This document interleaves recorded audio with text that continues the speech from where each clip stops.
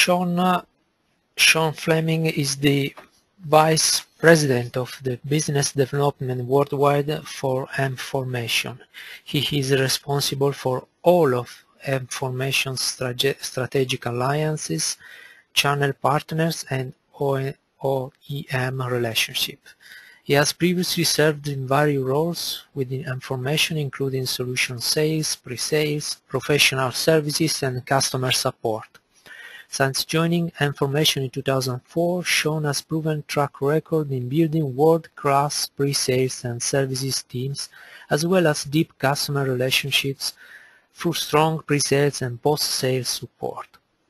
Prior to Mformation, Sean was a management consultant in the communication and media industry sectors of IBM, Price Waterhouse Coopers, and Andersen Consulting, now Accenture. Sean has led implementation teams for various Fortune 500 companies. Sean holds a BS in electrical engineering from the University of Delaware and is also an EIT registered in Delaware. So thank you very much, Sean, for accepting uh, the opportunity to present uh, and uh, it's your turn now. Thank you, Francisco, and uh, thank you to the uh, OMA body for allowing Mformation to participate. We appreciate it. You can go on to the next slide.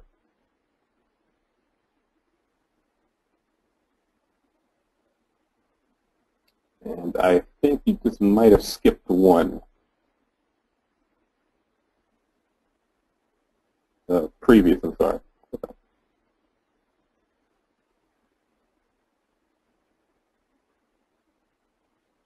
Okay, well, uh, I'll jump in. This will be pretty uh, quick.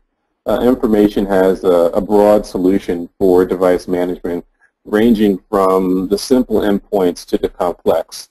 We've been uh, involved in device management since our inception in 1999. We are a private company.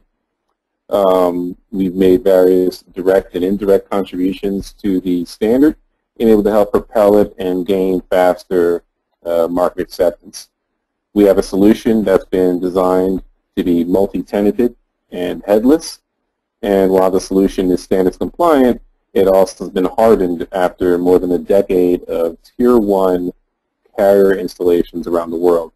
It's also been benchmarked to process millions of transactions uh, per day with live traffic. Um, Mformation has a highly scalable, you can stay on the slide, thank you, has a highly scalable, uh, you can go back actually.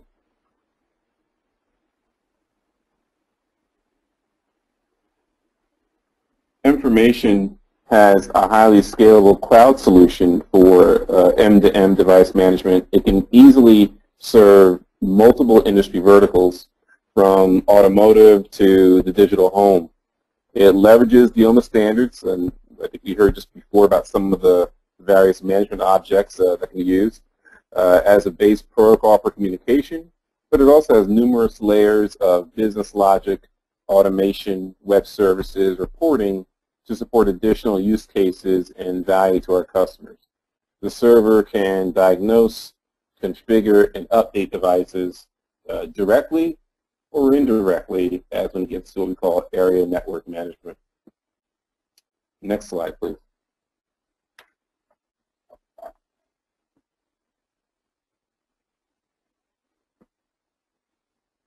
Um, and I think we might have skipped the slide here, but uh, if you could just advance, I just don't see the, uh, the slide that was expected here, Francisco. Oh, you can go back. Well, the OMA standard is rapidly becoming quite pervasive in this uh, industry sector, uh, due in part to the evangelism and success in adjacent uh, telecommunication markets around phones and tablets and CPEs are over a billion devices using FUMO alone, the uh, firmware update management object that we are just discussing in the prior presentation. And while that has historically been very important in the past, other standards are now evolving. SCOMO, Diagmon, DCMO uh, are now evolving to enable broader lifecycle management for complex software com components on devices, including application management, security patches, the radio modem software updates, and configuration management. OMA DM has gained a level of acceptance in the automotive environment. The uh, head units, as you've seen in some of the other presentations, are now becoming OMA DM capable. The standard's always expanding, and a capable lab environment or partner can enable rapid activation of new management objects and capabilities. And this all allows for DM to solve the key issues for today and tomorrow from the vehicle head unit to wearable devices. Next slide.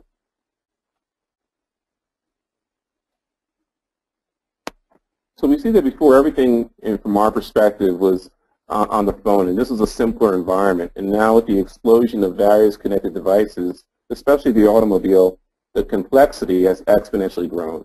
The automotive sector is one of the key users of M2M systems with a typical car potentially using hundreds of different software-driven components. Now, not all of these are critical uh, today, but it's expected that over time, the criticality of those systems will increase. Some of them will be critical insofar as a consumer will be accustomed to their operation and usage to the extent that their absence will make that person feel uncomfortable. And this is similar to mobile phones today. It's anticipated that the car will augment the view of the driver with navigation, environmental information, and entertainment. Additionally, the bidirectional communication in the car will be voice recognition and synthetic speech.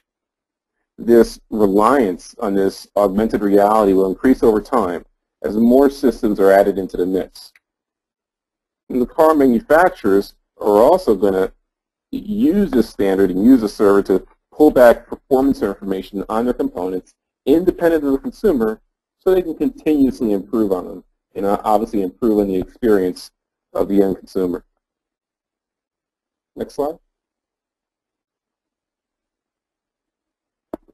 The number of critical systems in the car is expected to increase. These systems will typically be designated as business critical, safety critical, and security critical. Business critical refers to things such as automatic toll payment, pay-as-you-drive insurance, and automated parking payment. Pay-as-you-drive is particularly critical for the consumer as it may not be possible to use the car unless this is activated. Now, there's a need for improved efficiency and time management. For many, the vehicle is a mobile office for appointments and meetings, etc. The prosumer and the consumer will need the continuity of information from the fixed office to the vehicle, from the mobile to the vehicle. And competitive advantage is going to be held by those with faster access to the information grid. To ensure this, the automotive environment must be constantly and correctly maintained. The appropriate and timely configuration, application, and firmware provides and enables this business edge. However, it's not solely the OMA standards that enable this, but the intelligence of the platform to take numerous factors or variables into consideration, from software attributes and dependencies to other priorities. The safety critical systems are automated 911 services like the emergency call that was discussed, I think, in the first presentation, and uh, E911. Uh, other safety critical systems, braking management systems, autonomous driving and collision detection, and plus many others, some of which may not appear safety critical at first glance. For example, the automatic seat adjuster, but in operation while uh, in a driving motion certainly is a, a safety critical item. So not only are these safety critical, not only are these systems critical from a safety perspective to the consumer, they're also business critical to the manufacturer, who's going to be liable for a, for a failure and want to avoid costly recalls. The safety criticality was not always present, especially in the mobile phone environment. Keeping the vehicle up to date with the latest updates from temperature modules and navigation systems can potentially save lives the determination of the right software components for the right module at the right time and sequence are decision points where that were not previously over-the-air managed or available. And this can be applied to safety devices, child monitoring systems, and various other components in a connected home. All the OMA standards that may have had a bit more limited uh, rollout success in mobile will now be more required and, at the forefront in telematics. And I'm referring to uh, SCOMO, uh, the software component, management object, and uh, DCMO, and so forth. Security critical systems are items such as biometric car locking, anti-hijacking, and vehicle location. And these may be critical insofar as the consumer will not want to use the car if they're not functioning effectively. All these systems, just like the mobile phone today, will need managing. And the more critical they are, the more they'll need that management. The huge number of different and varying components makes the management of them and their interdependencies a challenge in and of itself. So now this is the time for augmented reality where this virtual world and our physical worlds are obviously coming together and machine-to-machine -machine communications are facilitating our convenience. Instead of carrying around the world on a device, we have devices throughout our world. They're everywhere. They're in our vehicles. They're in our phones, uh, in our homes. They're monitoring our vehicle's tire pressure. They're tracking our driving habits. They're uniquely and personally connecting us to the people and places and things that are our reality from virtually anywhere. But the devices that do this augmentation are not necessarily smart. The sensors in our cars from for seat belts and locks and brakes are simple, fit-for-purpose devices. The intelligence in our connected world ultimately comes from the way we manage it. Next slide. Thank you very much. And my name is Sean Fleming. I can be reached at sean.fleming at mformation.com for any questions. Thank you. Thank you very much, Sean. So I will open the floor for a couple of questions. Please write your question uh, and also indicate uh, if uh, the question is for a specific speaker.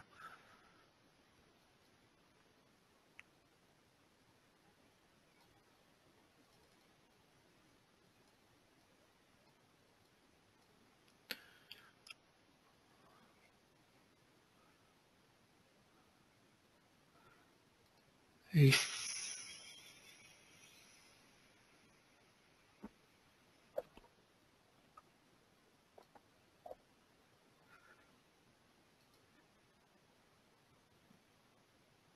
Kenny Kenny Kwong, uh, if I remember well, you you raised your hand for a question. Do you still have uh, your question? Or is somehow answered from the presentation?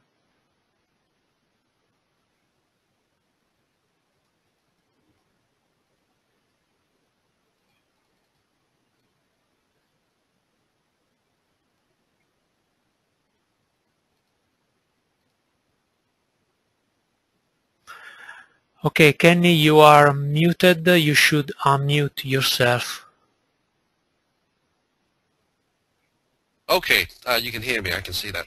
Uh, yeah. Thank you, uh, Francesco. I, my question was a simple one uh, to the first speaker. Uh, I guess that was perhaps uh, looking at a very large landscape for introduction, because I didn't. I was going to ask whether there had been any, or will be any particular you know, issues, identification uh, issue uh, being uh, identified for further dialogue and, and uh, investigation uh, with OMA. Whether uh, whether that was just kind of describing the landscape to the OMA audience.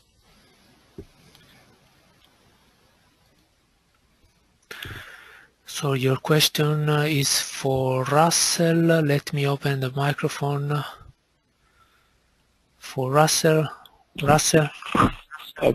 Okay. Um, these were the views um, that I put together from the ITU um, collaboration and ITS communication standards where um, the participants from both the car companies and some of the carriers are very concerned about how really things get put together. Um, a number of them have participated in the GSMA um, automotive effort, um, which has concluded um, with some testing and some ideas. Um, and there's kind of a general belief that um, a serious cooperative effort needs to be moved forward, particularly as um, automated driving is um, on a reasonably close in horizon now. But we're not saying, um, and I don't think it's our position, we certainly would like to be part of an effort, but we're not the ones to decide where the effort should be. It primarily has to come from the carriers.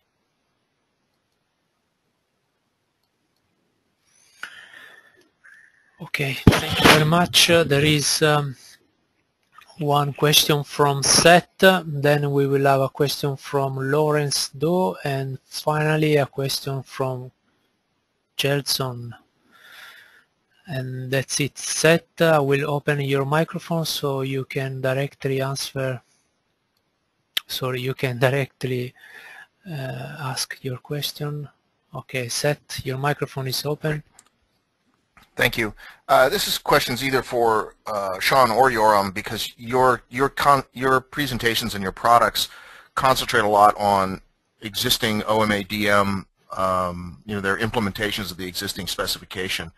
As you're looking ahead, do you see things that should be changed or added or uh, incorporated into the OMA DM spec or, or, others for that matter um, uh, specifically to serve the automotive market? Thank you. Hi, hi this is Sean. I'll, I'll go first, and then I'll, I'll turn over to my uh, colleague Yoram. Um, I, I, certainly would think so. I think there is, and please let me know if you can't hear me. Um, I, I, think there is uh, an additional need for the associated metadata uh, around SCOMO and the uh, or even perhaps on, on FOTA as well, because it's just a, a significant increase of parameters and variables and attributes which make these kinds of software updates and managing, uh, pushing them out a lot more complex than I think in the historical kind of single device phone or tablet uh, market. So I think uh, taking in these uh, additional attributes uh, with the device will be more conducive specifically in the automotive piece because I think there's a numerous uh, uh, dependencies, and those dependencies are based on a wide range of additional factors that previously were more simplified. Okay, thank you very much. Uh, one question from uh. Uh, I will read the, the question. This question is for KDDI. So for Kawada, Mr. Kawada, uh, about the KDDI approach. In the KDDI demo, is connectivity also done through the smartphone also as opposed to the embedded SIM approach described by Russell? Ryoki, I will open your microphone. Ryoki, did you get the yeah. question? Okay. Do you um, want yeah, would, would you please uh, uh, repeat the question again? Yes. In your demo, in KDDI mm -hmm. demo, is connectivity also done through the smartphone as opposed to the embedded SIM approach described by Russell. So Russell's, Russell in his presentation uh, talked about uh, an embedded SIM approach. In your mm -hmm. demo, your demo, the, the understanding is that connectivity is done through the smartphone. Mm -hmm. Is this uh, understanding right. correct? Is it right? Yeah, it is correct. So the uh, in in our demo, uh, the IVI has uh, is supposed to have only the Wi-Fi connection. Okay. Okay, thank you very much. Thank you. The last uh, uh, question is a question already done to to Joel, but uh, probably if someone else want to answer is the question, uh, what about the allocation of spectrum? Is there room for a massive network that is using such a large amount of frequency through LTE? Will it disturb other outside communication with aren't in vehicle? So who would like to answer this question?